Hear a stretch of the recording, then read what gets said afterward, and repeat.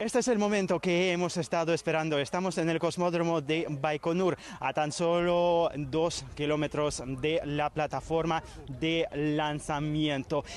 La nave Soyuz ya está lista para despegar con la nueva tripulación camino a la Estación Espacial Internacional. Aquí hay muchos turistas que han llegado a observar este mágico momento.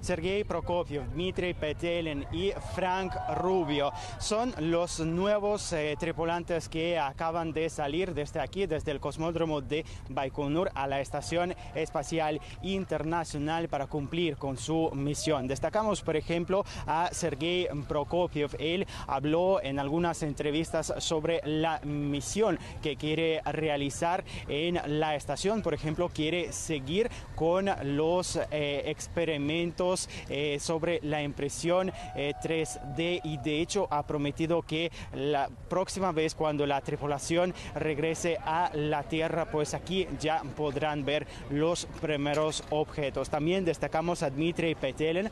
Para él se trata del primer vuelo espacial y también destacamos al estadounidense Frank Rubio. Es el astronauta estadounidense de origen que también para él es un momento muy emocionante porque también es la primera vez que viaja a la Estación Espacial Internacional y de hecho marca el nuevo acuerdo entre Rusia y la NASA, pues se trata de que eh, los eh, rusos ayudan a enviar a los astronautas estadounidenses a la Estación Espacial Internacional desde aquí, desde Baikonur y viceversa los estadounidenses ayudarán a los cosmonautas rusos a pues ir a la Estación Espacial Internacional a través de la nave Crew Dragon. Pues como ya decía, se trata de un momento muy emocionante.